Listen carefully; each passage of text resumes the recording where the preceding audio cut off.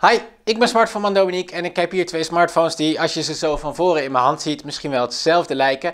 Maar dat zeker niet zijn. Het zijn de Samsung Galaxy S22 en de Samsung Galaxy S23. En in deze video leg ik ze naast elkaar, kijk ik hoeveel beter de Galaxy S23 is en of die zijn meerprijs, die ongeveer 170 euro is op dit moment, waard is.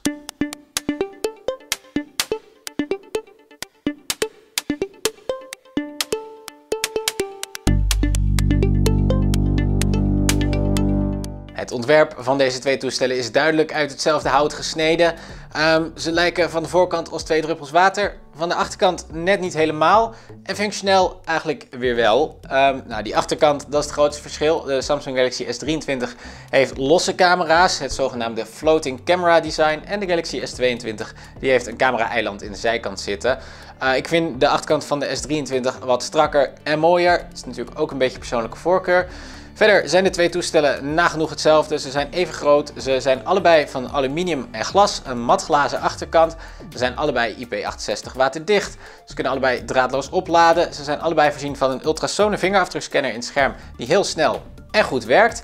Um, ze hebben allebei geen audio jack. Ze hebben allebei geen ruimte voor een uh, geheugenkaartje, maar wel voor een eSIM. Um, ja, en zo kan ik nog wel even doorgaan. Het is gewoon echt ongeveer hetzelfde qua ontwerp. Onderhuids zitten er nog wel wat verschilletjes qua ontwerp. De Galaxy S23 is wat steviger geworden. Hij is volgens Samsung 16% beter in droptests dan zijn voorganger. En Samsung maakt gebruik van meer gerecyclede materialen en wil zo de milieuvriendelijkheid van het toestel wat beter maken. De schermen van deze twee zijn op papier gelijk. Het is een 6,1 inch Full HD Plus scherm. Een AMOLED scherm met een verversingssnelheid van 120 Hz, uh, die variabel is trouwens. En het zijn gewoon allebei hele mooie schermen, zoals je ook van Samsung gewend bent. Toch is er wel een verschil. Uh, het scherm van de Galaxy S23 heeft een wat mooiere witbalans wat mij betreft en kan wat helderder. Nou zijn dat geen verschillen die je echt merkt. Um, als je de twee toestellen naast elkaar houdt wel, maar als je ze los van elkaar gebruikt, ja, dan is dat eigenlijk wel verwaarloosbaar. Dus de S23 heeft net een wat beter scherm, maar het is echt een klein verschil. De grootste upgrade van de Galaxy S-serie van dit jaar is wel dat Samsung is overgestapt van zijn eigen Exynos chip naar de Snapdragon chips van Qualcomm. Daar profiteert de Galaxy S23 duidelijk van. Er zit een Snapdragon 8 Gen 2 chipset in.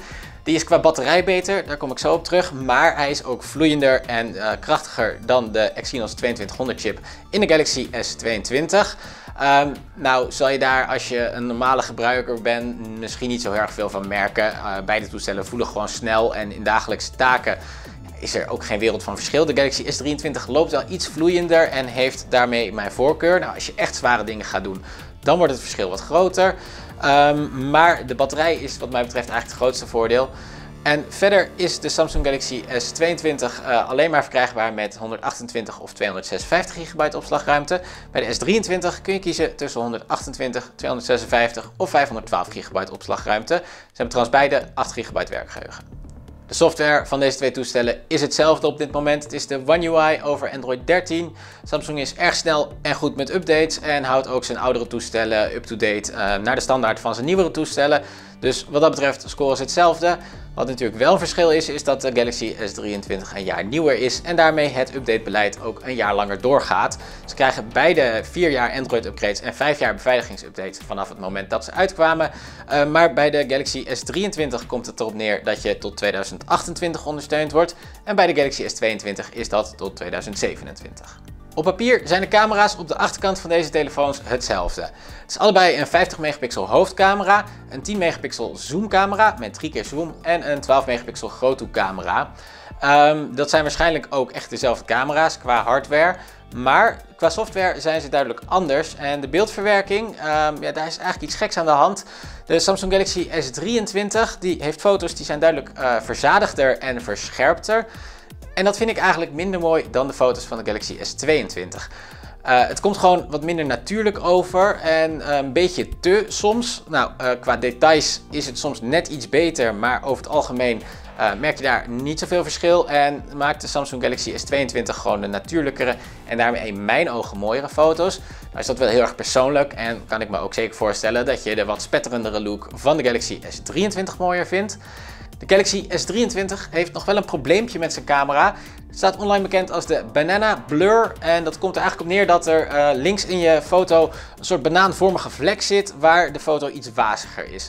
Nou, dat merk je niet uh, altijd, maar uh, het zit wel eigenlijk in elke foto. En als je echt goed ernaar gaat kijken kun je het altijd wel zien. Maar het is vooral merkbaar als je bijvoorbeeld van dichtbij een foto van tekst maakt. Dan is het duidelijk en ook wel een beetje storend.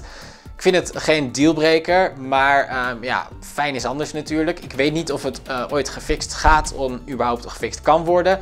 Um, dus dat is wel een klein dingetje om rekening mee te houden. Dus wat dat betreft doet de camera van de S22 het beter. S23 heeft nog wel wat voordelen op cameravlak. Ten eerste heeft hij een vernieuwde en betere selfie camera. En ten tweede is die ook qua beeldverwerking iets beter geworden s'avonds in het uh, maken van video's bijvoorbeeld s'nachts. Nou, is geen wereld van verschil, maar wel net een voordeeltje. Het grootste en belangrijkste verschil tussen deze twee smartphones is denk ik de batterij. En dat zie je op papier misschien niet zo. De Galaxy S22 heeft een 3700 mAh batterij. De Galaxy S23 heeft een 3900 mAh batterij. Houdt allebei niet echt over. Uh, maar in de praktijk is het duidelijk een groot verschil. Het heeft alles met de chipset van die Galaxy S23 te maken. Die is gewoon een stuk zuiniger. Met Galaxy S22 kom ik ongeveer anderhalve dag door. Nou, dat is zeker niet dramatisch. Um, net voldoende wat mij betreft, maar het is niet een van de sterkere smartphones qua batterij.